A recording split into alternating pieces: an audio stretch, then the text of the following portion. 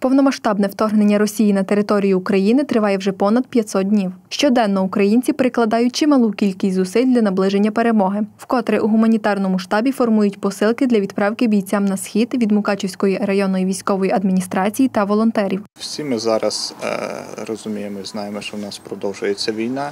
Всі ми не маємо від неї змучуватися. Всі ми маємо е, розуміти, що від того наскільки ми допомагаємо, залежить і результат е, всіх дій. Е, Повномасштабне вторгнення йде вже понад 500 днів, але війна триває понад 9 років, і великий вклад е, в її е, завершення і в успішну майбутню перемогу роблять і волонтери, робить і влада, роблять і всі причетні, хто допомагає Збройним силам. Важливо не втрачати наснаги і надалі допомагати нашим захисникам, адже з кожним днем кількість їхніх потреб тільки збільшується. Наші е, воїни, наші герої е, методично, систематично вичавлюють ворога із нашої території. Так само ми маємо методично, систематично і постійно їм подопомагати, полегшувати їхнє життя.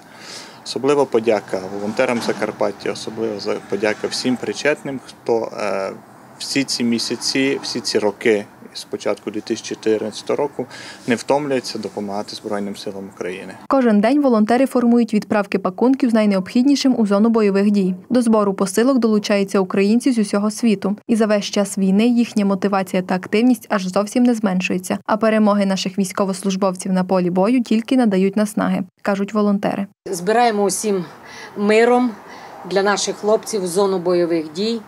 Все, що просять, все, що маємо, ділимося. Е, Звісно, що це все завдячуючи нашим закордонним е, співвітчизникам, які донатять, які допомагають, які привозять е, допомогу гуманітарну. В основному це Німеччина, Італія, наші співвітчизники з Америки, які фінансово підтримують. Ну і звісно, мукачівці. Без них, без їхніх донатів нам не обійтися. Потреби військових формуються залежно від бойових та погодних умов. Зараз найпотрібнішими для них є гігієнічні засоби та спреї від комах, каже Катерина Легерда. В яких наші хлопці бідні умовах там перебувають, взуття, то ноги пітніють, відповідно є і захворювання. Тому стараємося і медицину, і щось таке мобільне, е, вологі серветки.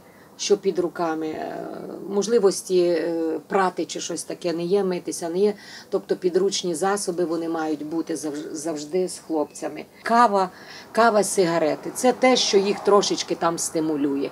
І ми це знаємо, і ми намагаємося десь отак от завжди щось відправити. Волонтерський вогонь українців не затухає, а стійко палає. Віриться, усі численні добрі справи пришвидшать найважливіше перемогу.